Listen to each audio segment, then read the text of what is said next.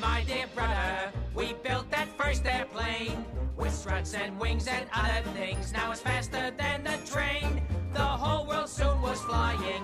The jet replaced the prop. Now there's supersonic speed. When will the madness stop? I'm Miss Information.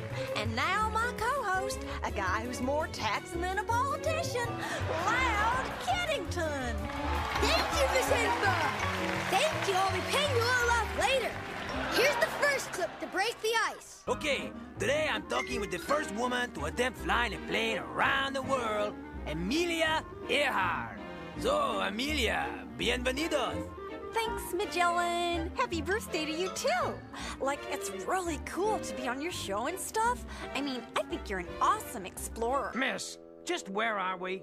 You tell me where you want to be, and I'll sell you an airplane ticket. We just want to go home. Of course you do.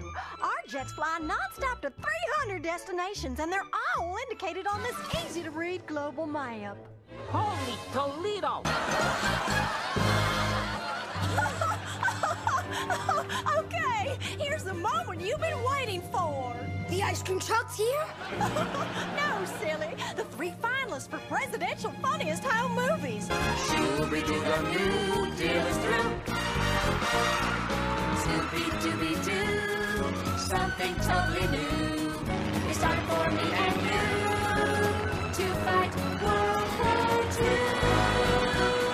II. Will you calm down? I don't like this one bit. Orville, let's talk to the pilot. Maybe he can help us. Good idea. Captain! Captain!